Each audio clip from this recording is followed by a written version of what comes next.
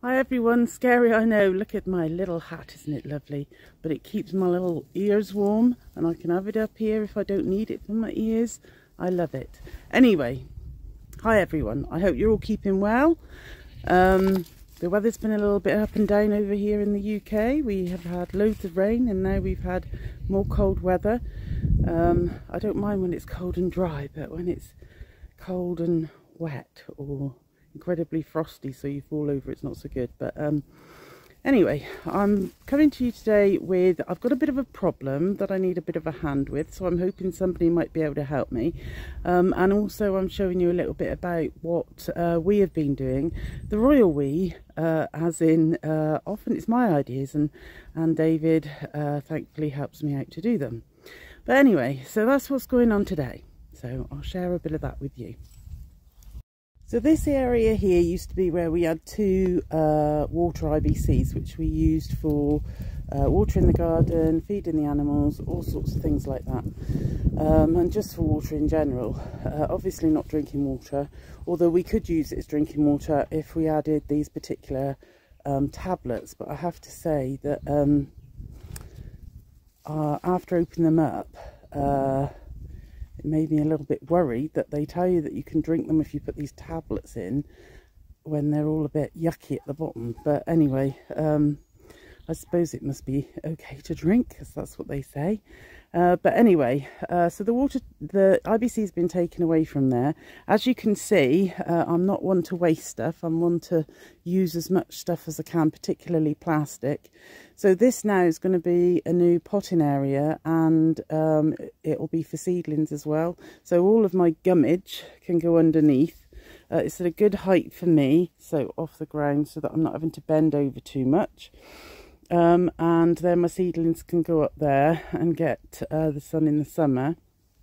The sun comes, uh, it'll be in here midday-ish, so uh, it comes up to the right of here, um, so over here, and then it comes up and across the sky um, over towards the left and where the pallet is facing that's sort of where the sun goes down. So um, so that'll work quite nicely for bringing on seedlings and things like that and also repurposing things. Um, underneath the actual bottom of the IBCs that I've cut off there's my son's old bed so uh, we've used that as well. So everything that we can repurpose we do.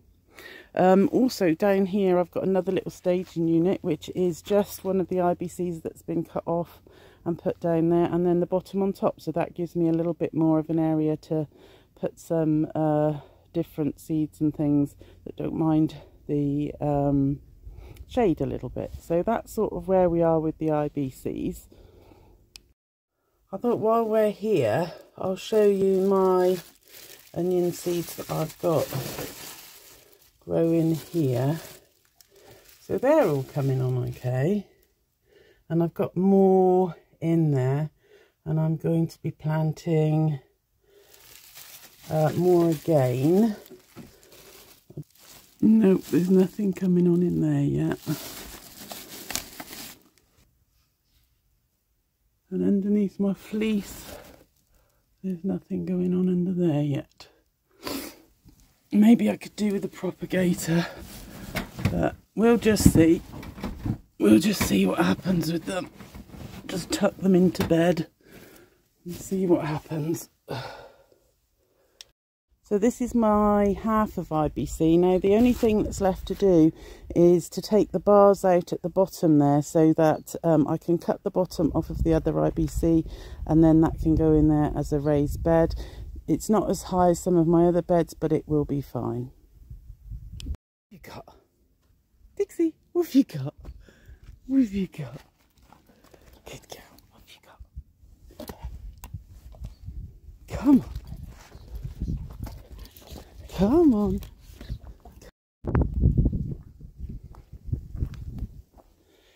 So this is one of the IBCs.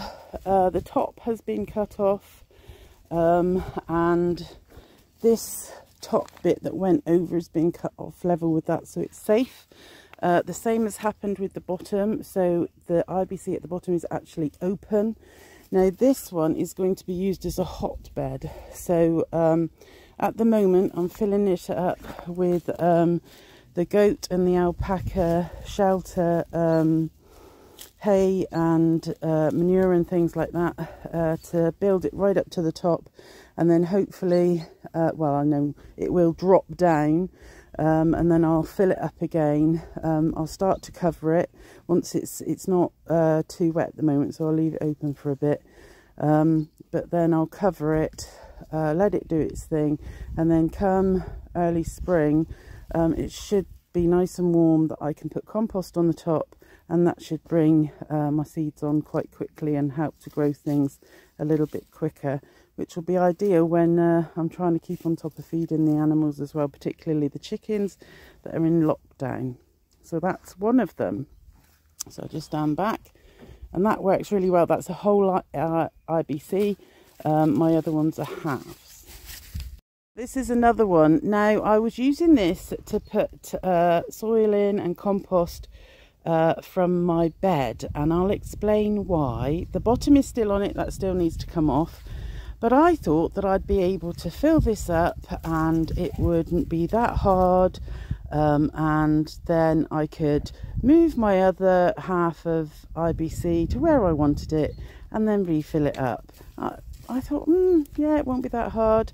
Um, well, it's the royal we as well. And my poor husband, um, it's just too much. So now if I show you this bed now if you uh, watch my channels you will know that I moan profusely about my beds and I will explain why now.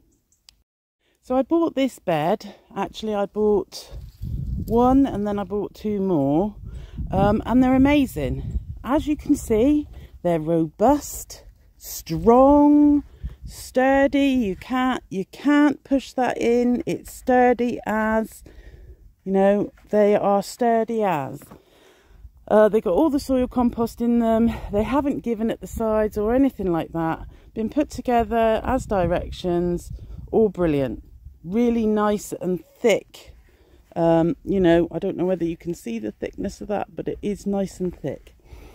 And my plants have been happy in there. They've grown fine in there I'll just show you what's underneath while we're having a look.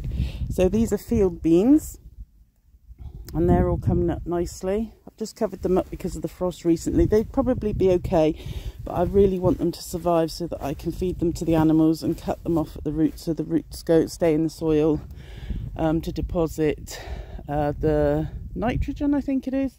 Um, but I'll check on that. Now I'll just bring you around to show you this bed. So if you look, it goes in in the middle. And I'll do an end view. As you can see over here, it's all flopped in. It's absolutely rubbish. Same company. Look at it. So they weren't doing the other beds anymore, so I thought, oh, I'll order these. Rubbish. This one, just as bad, if not worse. Look at it. So I don't want these beds anymore. I've decided that I'm done with them because they're just an embarrassment. They just, you know, they're going in in the middle. I can't plant very well in them.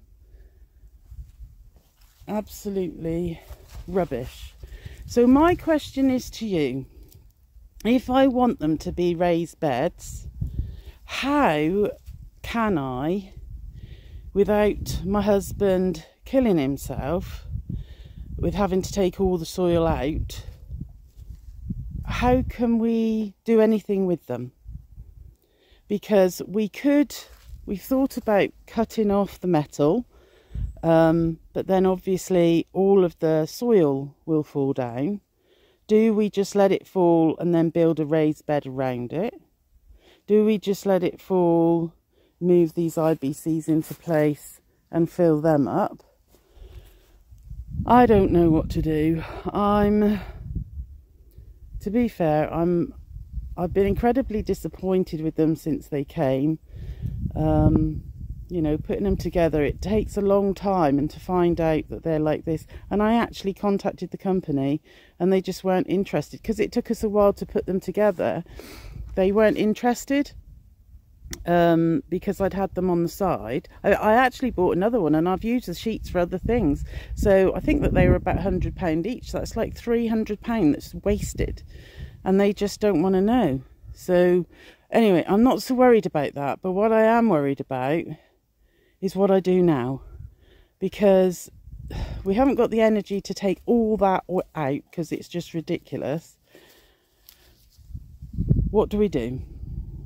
any suggestions would be much appreciated in a way that we can do it and that it'll actually look okay, better than this, and um, will be serviceable for planting, but also my access to planting because I've got um, osteoarthritis, uh, two new hips waiting for two new knees, and I just can't get down to the beds. So they need to be bendable height or chair sittable height. So any suggestions at all?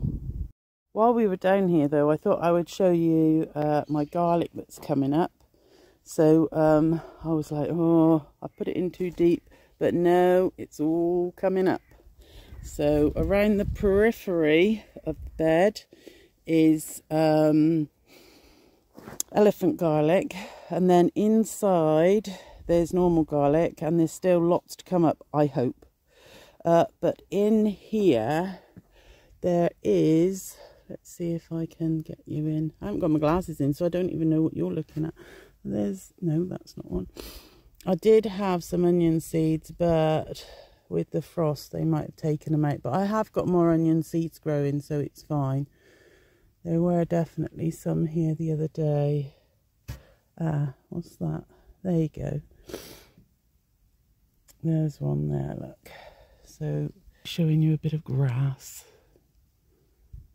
Ah. Here's one. Here's one.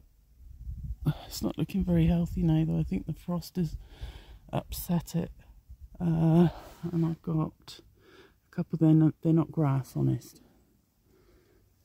uh, and then there's that one there there were more the other day but maybe some of them have gone over because of the frost but we'll just have to wait and see so so it's all coming on now I had carrots and what I did I've taken them out of one of the beds that I want to move and I've just dug a trench here put my carrots in there took the tops off put my carrots in there to try and keep them fresh because I always think they taste better when they've come out of the ground. Now if they start to rot they start to rot but um, I'd prefer to do that. I always think that if you take them out of the ground and you put them in bags they never they start to um, dehydrate I think they just don't taste as nice so that's what I've done to see uh, if that will work. I don't know. I've never done it before, so we'll see. We'll see. And my little robin's over there waiting for something. Oh, he's gone again. Waiting for something to eat. So that's it for me for today. Any comments, advice would be much appreciated, especially with the bed situation. Um, any ideas of how to do that in the easiest way possible um, would be brilliant because there's a lot of earth and compost in there and everything um, and I do want to use it for growing this year if I possibly can. So please, if you do know of any ideas, please share them. I beg you. Um, and that's it for me today. Thanks for watching wherever you are in the world. Thanks for, thanks for giving me a watch. A like and a subscribe would be brilliant. Um, and press the bell if you want more content. Um, there will be different bits on here for animals, livestock. Um, nothing horrible. There's no, uh, I won't be putting anything horrible on livestock. The only horrible bit might be for somebody is when I um, try and record the goat's uh, birth and the alpaca's birth. But knowing my luck, they'll do it in private and I won't get any of it. But anyway, thanks for now. Take care. Bye-bye.